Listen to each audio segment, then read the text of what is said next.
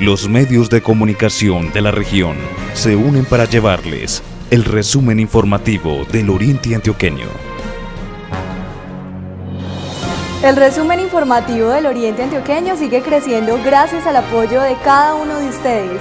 Hoy enviamos un saludo muy especial a todas las personas que nos ven en los diferentes municipios de la región. También les queremos agradecer por estarnos acompañando en esta nueva emisión. Yo soy Alejandra Ríos, estos son los titulares. Bienvenidos. En el resumen informativo especial Seguridad en el municipio de Río Negro. Informe del Oriente Antioqueño sobre estrategias anticorrupción. Fueron capturados integrantes de una banda dedicados a la extorsión. Cornare premió y exaltó el mérito ambiental del Oriente Antioqueño. En Sonsón se construirá importante planta de tratamiento. Esta y más noticias en el resumen número 33 del Oriente Antioqueño.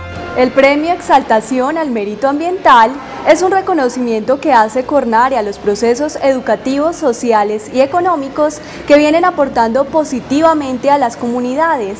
Veamos la nota con mi Oriente. De las 44 propuestas presentadas, 6 quedaron como finalistas y fueron evaluadas y escogidas por la empresa IGEMSA, organización dedicada a la gestión y desarrollo de proyectos de carácter social y ambiental. Entre los criterios utilizados en la selección de los ganadores estuvieron la protección, conservación y recuperación de recursos naturales, biodiversidad ambiental y cultural, la gestión socioambiental, el desarrollo tecnológico y el desarrollo institucional e interinstitucional ambiental. Hoy estamos mostrando la faceta linda, la faceta amable, la faceta importante de la gestión ambiental y es reconocer todas aquellas instituciones, personas, eh, municipios que de una u otra manera han hecho bien su tarea, han hecho bien su gestión. Los ganadores fueron, en categoría Administración, el municipio de Concepción, con el proyecto Fortalecimiento Manejo Integral de Residuos Sólidos, MIRS, con participación comunitaria. En categoría Organización Comunitaria, Primer puesto para la Corporación Ecocagui del municipio de San Luis, con el proyecto Promoción y Educación Ambiental hacia un ecoturismo responsable en el municipio de San Luis. Pues la satisfacción es que con esto abrimos una puerta muy grande para que todos esos niños que tenemos como semillero puedan entrar y puedan entrar con más niños y esto sea cada día un trabajo que podamos hacer todos los días y podamos heredarle a las generaciones futuras, porque hay allí en San Luis un gran potencial que ya los niños comienzan a visualizar y que ya lo han hecho suyo, y eso es muy importante. En la categoría institución educativa, primer puesto para la institución educativa normal superior de Marinilla, con el proyecto Diseño y Validación de Cartillas de Cátedra Agroecológica para Preescolar y Básica Primaria, bajo el modelo educativo flexible Escuela Nueva.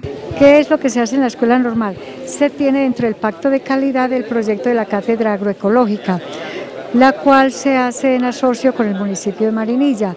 Esta cátedra tiene como finalidad rescatar el valor de la agricultura en el campo, en las veredas, en las escuelas rurales.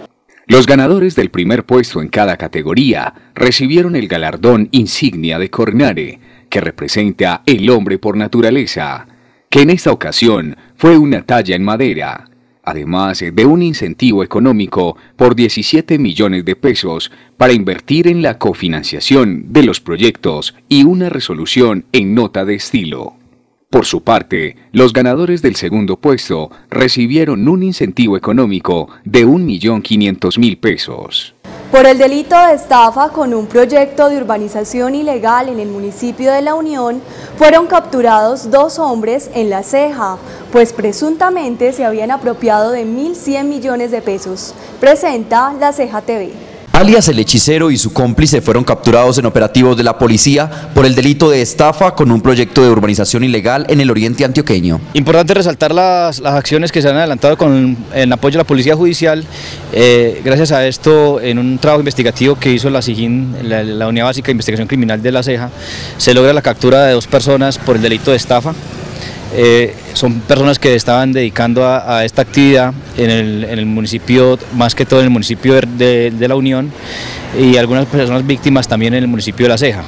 se logra la captura de Ángel José Giraldo Valencia, eh, conocido con el alias del hechicero, y de Byron Fernando Galeano López, eh, otra persona que se dedicaba a las mismas actividades, capturadas por orden judicial por los delitos de estafa en cuantía agravada y urbanización ilegal en la modalidad tentativa. Un procedimiento que se hizo, nuevamente lo repito, una de las capturas, la, de, la del señor Ángel José Giraldo, se efectuó en el casco urbano del municipio de La Ceja, en el sector de La Cruz.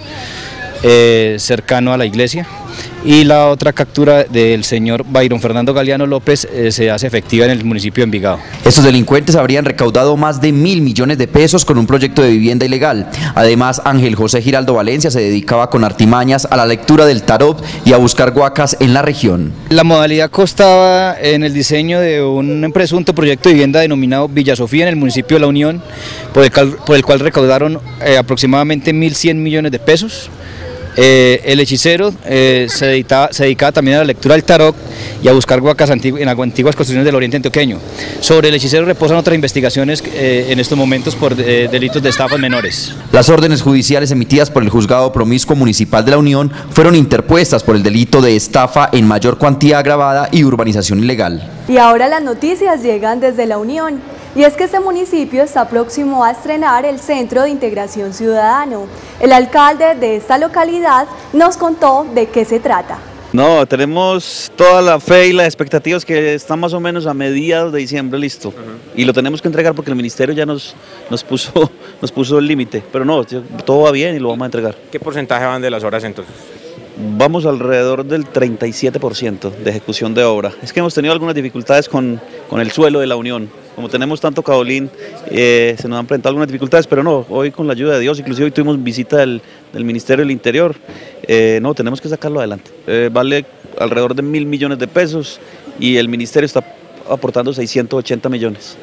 El tema de seguridad preocupa a las diferentes autoridades de Río Negro. El personero Carlos Andrés García habló con Mi Oriente refiriéndose a este tema. A raíz de la intranquilidad de la comunidad de Río Negro por los episodios de violencia desatados en diferentes sectores del municipio, el personero municipal Carlos Andrés García envió una carta al alcalde Hernán Ospina donde le solicita al mandatario analizar la situación de inseguridad en el que se ha asumido la localidad y todos los hechos desencadenados de la misma. Nosotros tuvimos la oportunidad de conversar al respecto en el Consejo Extraordinario de Seguridad que se convocara la semana inmediatamente anterior y el alcalde pues comparte con nosotros esas angustias, esas preocupaciones y ha manifestado su, deseo de disponer de los elementos eh, que sean necesarios para mejorar las condiciones de seguridad en la ciudad. Esperemos de que así sea. Para el personero hay grandes vacíos en materia de seguridad donde hay que trabajar, entre ellos la prevención, la necesidad de adelantar las gestiones administrativas tendientes al aumento del pie de fuerza en el municipio, llegar a estos sectores donde hay violencia con una mayor y mejor inversión pública de recursos, con programas sociales, mejor iluminación, mejores espacios, renovación urbanística. La comunidad no se siente tranquila en la ciudad que habitan y que recorren. Y en muchos sectores de la ciudad, los rionegreros, los padres, las mujeres y los niños están confinados en sus propias viviendas por temor a salir. Después de un consejo de seguridad en Río Negro, donde asistieron diferentes autoridades locales y departamentales, el secretario de Gobierno de Antioquia, Santiago Londoño, junto con el alcalde Hernán Ospina, entregaron un informe al término de este importante encuentro. Muy importante, la Fiscalía General de la Nación, que es un actor fundamental aquí, porque aquí tenemos que empezar a atacar estructuralmente estos grupos. Uno puede decidir ir atacando pequeños consumidores, ir atacando pequeños expendedores y pues digamos que puede mostrar resultados muy rápidos, pero no ataca el centro del problema. El centro del problema aquí son unas estructuras que tienen muchos años, que tienen cierta experiencia y que desafortunadamente después de golpes que se les dieron muy duros en el pasado, están intentando retomar espacios. Entonces, con el eh, señor alcalde, con la fiscalía y con la policía tenemos un plan. Un fiscal especializado que llega la semana entrante a Río Negro va a ser el gerente de un gran proyecto de investigación que tiene varios insumos. El Gaula tiene insumos. La unidad contra el microtráfico que está actuando en el oriente hace ya varios meses con grandes resultados en La Ceja, Bejorral, en Sonsón, también aquí en Río Negro, va a ser un insumo, pero adicional todo lo que tiene que ver con membresía de grupos criminales, es decir, aquellos que pertenecen a grupos criminales y que tienen algún tipo de recorrido, ese fiscal es el aglutinador, es el gerente y la SIGIN, el CTI y todos los investigadores que han estado aquí presentes van a estar obviamente en un gran equipo. Eso nos va a permitir lo que ya digamos hemos avanzado, que es identificar que las órdenes de captura se muevan rápido y que efectivamente podamos estar rápidamente dando muy buenas noticias frente a capturas estructurales. Y siguiendo con el tema de seguridad en Río Negro, el alcalde Hernán Ospina nos enseña cómo será el centro de monitoreo y control que estará en funcionamiento en 15 días. Eh, este CMC, Centro de Monitoreo y Control, es una herramienta que nos va a ayudar a facilitar eh, para poder que haya una reacción más inmediata. Eh, ¿qué, es el centro? Pues es un centro de recepción de información donde desde acá se direcciona cuál es el organismo responsable dependiendo de la queja. Aquí la que tiene las primeras cabinas y, las líneas, pues va a ser la Policía Nacional, lógicamente, eh, que es lo importante. Pero aquí va a estar bombero, organismos de socorro, eh, también parte de la Secretaría de Gobierno. Alcalde, rápidamente vamos a entrar para que usted nos explique en qué consiste y, y por qué está compuesto este centro de monitoreo, alcalde. A ver, acá por lo regular, acá es donde están todos los consejos de seguridad. Sí, ya, pues ya los, eh, como tiene apropiado un espacio para para hacerlo, pues aquí hay una sala y esa sala eh, pues es apropiada para convocar a consejos de seguridad tiene los módulos que le corresponde a cada dependencia. Cada, dependencia, alcalde, como organismo, perdón, a cada, a cada organismo. Entonces tenemos lo que es tránsito, lo que es bomberos, lo que es defensa civil, lo que es la Policía Nacional, también tenemos para la Fuerza Aérea, para tantos organismos que eh, van a operar aquí, que estamos hablando de alrededor de 6, 7 organismos que se van a sentar.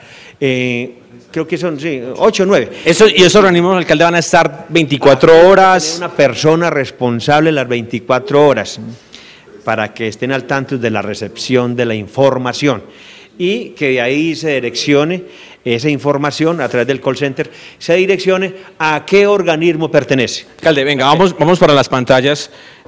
Eh, vamos para las pantallas, alcalde, y usted nos va a explicar eh, que, la gente que, eh, los que van a estar acá monitoreando, qué van a, qué acceso van a tener del municipio, cómo, que, la gente que pueda hacer denuncias acá, alcalde. Entonces, vamos, tenemos tres grandes pantallas. Estas pantallas, alcalde, bueno, primero hablemos de la inversión. ¿Cuánto fue la inversión en este centro, alcalde?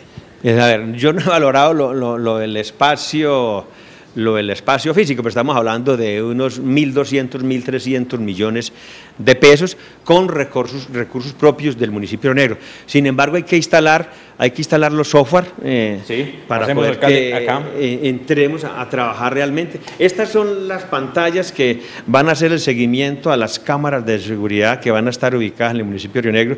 45 de ellas que van a ser, eh, digamos, va a tener una reposición total porque ya las, las existentes ya no cumplen ni tecnológicamente y ya cumplieron, digamos, eh, parte de su vida útil. Entonces, 45... Por ejemplo, acá en esta pantalla, alcalde, nos estamos viendo. Aquí... Entonces, estas pantallas, cada, cada monitor de estos va a tener acceso a las vías, a los barrios del municipio. Claro que sí. 45 eh, puntos eh, que va a tener el municipio de Río Negro, que los van a enfocar 45 cámaras. Eh, ¿Ya las cámaras están? Y las cámaras ya están acá y ya están en proceso de, instalación. Creo que en los próximos 15 días, me dijo aquí el, el, contratista, de que ya entran en uso. Estamos esperando es un software que viene a través del gobierno departamental y la Policía Nacional para que entre ya en operación pero el personal ya está en proceso de alistamiento para que a cada uno se le asigne una función y la cumpla. Pero aquí tenemos 45 cámaras que van a ser eh, monitoreadas desde estas pantallas con 45 puntos Wi-Fi. A la, y a la vez le cumplimos a otra de las propuestas de, de Río Negro con, con, conectividad de que vamos a tener internet en todos estos 45 puntos. Y vamos a tener cámaras, alcalde, ya por último, porque usted tiene que ir en estos sitios donde son complejos de seguridad, donde están estos dos barrios donde usted nos decía que hay inseguridad. Eh, hablemos de sectores. en estos sectores. De estos sectores eh, donde hay puntos críticos, que no podemos desconocer que hay microtráfico, y allá va a estar eh, esa cámara y va a estar monitoreada desde acá, desde el centro de monitoreo y control. Alcalde, por último, pues un mensaje para los televidentes del resumen informativo del Oriente Antioqueño, pues que se animen a denunciar, que, porque no se hace nada si, si no se denuncia. En la línea 4 del programa ah, de gobierno, Río Negro Seguro, en la sublínea 21 está con el tema de seguridad y convivencia ciudadana. ¿Qué dice esa sublínea? Que la seguridad es un compromiso de todos, de ciudadanos y ciudadanos y del ente territorial y del gobierno, del responsable que es el que le está hablando, que yo no vengo aquí a desconocer mi función y mi responsabilidad, pero aquí los invito a denunciar en el tema de extorsión con el 147, próximamente a denunciar el 123 local o en las líneas que más adelante se les va a anunciar a la comunidad, también se va a socializar, para que denuncien todo tipo de casos, el tema ambiental, el tema de seguridad, el tema de violencia intrafamiliar, el tema del maltrato, el tema de robo, en fin, desde acá vamos a, a, denunciar y a recepcionar la información al organismo que le competa. Yo creo que es una buena herramienta y una ayuda tecnológica para que Río Negro eh, le dé más facilidad brinde más confianza al ciudadano y ciudadana que vive en esta ciudad y poder combatir a todos aquellos que están al margen. Yo creo que es lo fundamental, Willy. Alejandra, continúe usted con más información. Estamos desde el centro de monitoreo. Como pueden ver, estas cuatro tres pantallas serán las encargadas de pues, brindarle más, más seguridad, 12 pantallas, brindarle más seguridad a los rionereros. Seguimos con más noticias con el Canal 8 del municipio del Retiro. El pasado martes 21 de octubre se presentó una emergencia en la vía El Retiro Pantanillo-La Ceja debido a las fuertes lluvias. de las 3 de la tarde cayó un aguacero en esta zona, debilitando unos, unos pinos que se encontraban muy al borde de la vía al socavar la raíz eh, cayeron alrededor de seis pinos. estos pinos eh, tumbaron un poste de energía, eh, quedaron sobre las primarias, también descabezaron uno, entonces en este momento faltan dos postes que hay que volver a recuperar. La afectación a la comunidad se vio reflejada en el corte de la energía, telecomunicaciones y cierre temporal de la vía. en este momento por seguridad no estamos dejando pasar a nadie mientras hayan trabajos de motosierras en la, en la zona, pero ya dentro de poquito vamos a habilitar paso para personas eh, caminando y las motocicletas que puedan pasar cargando. Esta es la segunda emergencia de esta índole presentada en el municipio en menos de un año. ¿Cómo están los municipios del Oriente Antioqueño en estrategias anticorrupción? Mi Oriente dialogó con la Procuradora Provincial, quien entregó el informe que califica a las administraciones municipales. A nivel regional, El Retiro, Río Negro, Alejandría, Granada, Nariño, San Luis, El Carmen de Oral, Abejorral, La Unión y La Ceja se encuentran en los 10 primeros lugares, mientras San Carlos, San Francisco y Argelia en los últimos tres. El municipio de Retiro fue el mejor calificado a nivel nacional. Eh, es una gestión em, eh, interesante, mide la transparencia, mide la publicidad de la información, la oportunidad, mide el reporte de la información a su debido tiempo, mide la rendición de cuentas a los ciudadanos, mide también la atención a los usuarios y esa oportuna gestión y transparencia en general de toda una entidad municipal. Hay muchas variables que sirven para evaluar dicha gestión de las administraciones municipales, dentro de las cuales la más destacada es la transparencia en la gestión, contratación y en sí en cada uno de los actos de la administración pública, lo cual ayuda a que cada año logren estar en los lugares más altos del ranking. Hay gobiernos y alcaldes muy buenos, pero en la medición no están tan bien ubicados, dado que al parecer al reportar el informe al Departamento Nacional de Planeación, a la Procuraduría y a los organismos que hacen el recaudo de toda esa información, o no se hicieron a tiempo por el equipo de trabajo del gobernante, o el equipo de trabajo no reportó los resultados reales. Seguimos dando a conocer las noticias del Oriente Antioqueño en www.mioriente.com. Encuentra nuestros videos en YouTube en 140 caracteres, arroba mi oriente en Twitter. Escucha nuestra emisora virtual www.miradio.mioriente.com. En Facebook Mi Oriente. Somos Mi Oriente, viviendo la región. DM Producciones nos informa acerca del mal estado en que se encuentra la vía que comunica el municipio de La Unión con el Carmen de Viboral.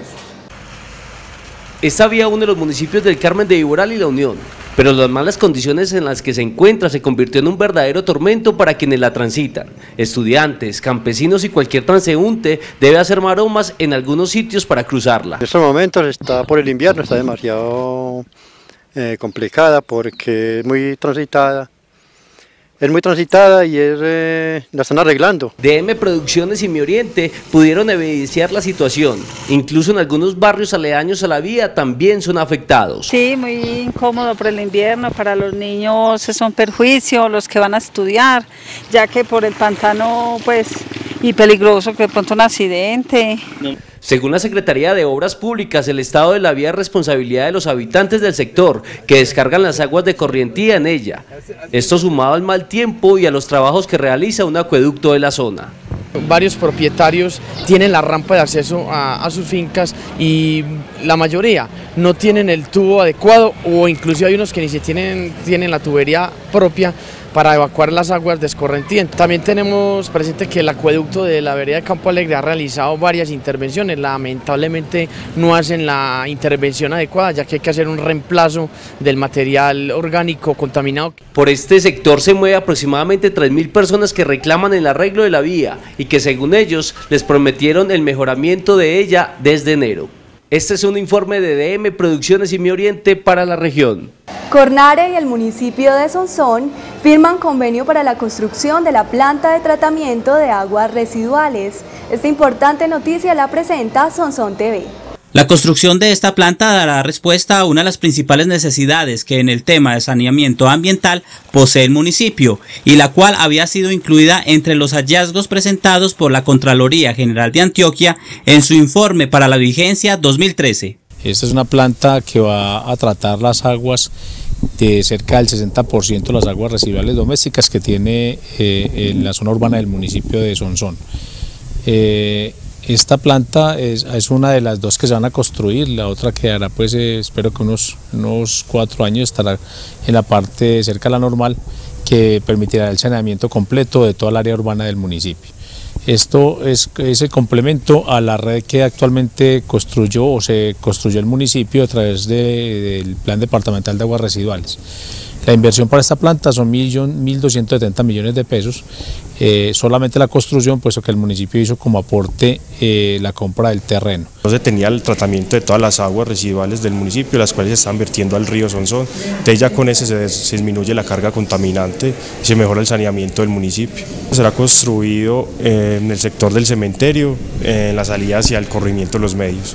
Esta obra hace parte de los diferentes proyectos que en el tema de saneamiento ambiental tiene la Corporación Cornare para la subregión Páramo, más aún cuando ninguno de los municipios que la conforman cumplen con este requerimiento. La Universidad Católica de Oriente celebra 20 años de su centro de idiomas, el cual nació en 1994 bajo la modalidad de laboratorio de inglés. En este momento, el Centro de Idiomas cuenta con más de 800 estudiantes en campus universitario. Llega a más de 1.200 estudiantes en los municipios cercanos del oriente antioqueño y a más de 2.000 estudiantes en otros departamentos de nuestro país. Bueno, han sido todos todo un resultado de esfuerzos, de trabajo, de ambición de la universidad por ser más universal, más internacional para que el oriente antioqueño sea igual, una región internacionalizada. El idioma no solamente como habilidad lingüística, sino como mentalidad universal, mentalidad que nos abre al mundo para que tengamos el carácter de ser ciudadanos de esta aldea global que es toda la humanidad y todo el universo. Estos 20 años nos llenan de alegría, nos invitan a celebrar, a agradecer y sobre todo a comprometernos para ser más, para servir mejor. Estudiantes de la Universidad Católica en inglés ven el Centro de Idiomas un conocimiento más como competencia complementaria a las carreras profesionales. La Universidad Católica Oriente y su Centro de Idiomas lo celebraron con tres tipos de eventos. Un evento académico dirigido a los docentes de inglés como lengua extranjera, un segundo momento para los directivos y amigos del Centro de Idiomas con los actos protocolarios y los reconocimientos. Y el tercer momento fue el festival y el market internacional con todos los estudiantes del Centro de Idiomas. El centro no solo es enseñanza en inglés, se ofrecen otros idiomas como el francés y el portugués, la asesoría a instituciones educativas, entre otros. No es maravilloso, tengo pues la, la, la, satisfacción de decir que estoy en este centro de idiomas donde hay maestros súper calificados, donde realmente sí se aprende el idioma que quiera, ya sea portugués, francés, inglés, y donde realmente sí se ven los resultados. Y he tenido la oportunidad de viajar y saber que viajando me sirvió el inglés de acá de la, de la UCO y del Centro de Idiomas y estoy muy agradecido. Uh, for all the people of Rio Negro, I invite you uh, just to come here and study English because it's so nice. And welcome to the eh, Centro de Idiomas UCO. Bueno, ahora sí, traducila, ¿qué lo coloquiste? Eh, para toda la gente de Río Negro, los invito para que vengan y estudien acá porque es muy bacano, ya sean jóvenes, grandes, pequeños, el idioma acá es muy bueno y bienvenidos. Luego de las obras de mantenimiento, el teleférico del municipio de Argelia ya está nuevamente en funcionamiento. Toda la información con Argelia TV mejoramiento del sistema de tracción con cumplimiento de normas internacionales y entrenamiento del personal en caso de presentarse alguna emergencia o evacuación. Es de anotar que para desplazarse al teleférico se va a hacer un recorrido por carretera de aproximadamente 6 kilómetros. Se ingresa a la estación del Zancudo y en un tramo de 1100 metros lineales se dirige a la estación de San Luis para luego ingresar a una cabina con destino a la estación El Brillante localizada en la vereda de La Plata y en un tramo de 1200 metros. Para recorrer la primera estación El Zancudo San Luis se demora 8 minutos y la segunda estación San Luis El Brillante se demora un tiempo de 9 minutos y si fuera a realizarse recorrido a pie demora un promedio de 2 horas. A cada cabina pueden ingresar seis personas y una vez puesto en funcionamiento el teleférico, la tarifa para cobrar a los usuarios y turistas es de 1.500 pesos por estación y lo mismo para transporte de carga con un peso de hasta 50 kilos. Yo fui uno de los coordinadores del montaje que hizo la empresa Citexa para la gobernación de Antioquia en el teleférico del municipio de Argelia. En este momento nos encontramos en la estación San Luis, que es la estación principal, el cual consta de dos de estaciones motrices, porque el cable consta de dos tramos, uno del Zancudo a San Luis y otro de San Luis hasta La, la Plata, la estación El Brillante. Eh, aquí en este cable se trabajó durante 16 meses, 16, 18 meses que se hizo, lo que se hizo fue básicamente repotenciar todo el sistema. Se cambiaron mesas motrices, se cambiaron motores, reductores, se cambiaron cabinas, se colocaron unas cabinas nuevas ya con unos estándares internacionales para mayor comodidad de la gente y mayor seguridad. La gobernación de Antioquia es la encargada del sostenimiento y mantenimiento del cable aéreo, pero el personal para su operación son jóvenes de las veredas aledañas al teleférico, quienes ven en dicha obra una oportunidad de empleo y de relación con la comunidad de su mismo entorno y la posibilidad de dar a conocer su región a los visitantes y turistas. Complementaria a la obra del teleférico, la Gobernación de Antioquia, en convenio con la Administración Municipal, ha ejecutado el mantenimiento y recuperación de la carretera del Zancudo, la cual se encuentra en perfectas condiciones de transitabilidad para cualquier vehículo, beneficiando con ambas obras a las veredas del Cabullo, el Zancudo, San Luis, La Plata, La Quiebra, Primavera, El Recreo y San Agustín, y en promedio unos 3.000 habitantes quienes ven un mejoramiento incondicional en su calidad de vida con la puesta en operación del teleférico.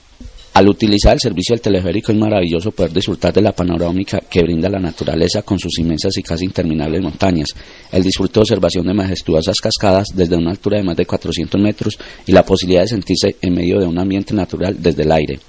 En Granada, 650 personas fueron atendidas en la segunda jornada de indemnizaciones transformadoras. Esta importante nota la presenta Acontecer Granadino. La Unidad para la Atención y Reparación Integral a las Víctimas realizó en el municipio de Granada la segunda jornada para la entrega de indemnizaciones transformadoras el martes 21 de octubre. Nos encontramos en el día de hoy haciendo la atención a 650 personas que son beneficiarias de, del proceso de reparaciones e indemnizaciones transformadoras en una apuesta que tiene el gobierno nacional en cabeza del señor presidente de la República, el doctor Juan Manuel Santos, y a través de la Unidad Nacional para la Atención a las Víctimas la doctora Paula Gaviria, estamos entregando aproximadamente unos 3 mil millones de pesos a personas que por el tema del conflicto armado les tocó desplazarse y que hoy ven restablecidos sus derechos. Eh, hoy estamos en la segunda etapa de las indemnizaciones transformadoras. Ya estamos llegando a más de 1.700 personas en el municipio de Granada indemnizadas. Vamos casi llegando a los 10 mil millones de entregas directas en recursos. Hoy estamos haciendo dos esquemas diferentes, uno que llamamos asambleas familiares y el otro que lo llamamos salones temáticos. Hoy estamos en un salón temático donde les contamos a las personas cómo se deben invertir, qué oportunidades hay en el municipio de Granada en cuanto a vivienda, generación de ingresos, educación y de pronto en compra de, de tierras. Y en el Coliseo estamos en unas asambleas familiares dialogando con las familias directamente. Las familias beneficiadas recibieron asesoría por parte de la unidad de víctimas y de las cooperativas granadinas para hacer una inversión adecuada de sus recursos. Hasta aquí esta emisión del resumen informativo del Oriente Antioqueño. Nuevamente gracias por su sintonía y recuerden que nos pueden llamar al 561-2121. Sus noticias y reportes son bienvenidos. Yo soy Alejandra Ríos, nos vemos en una próxima emisión. Hasta entonces.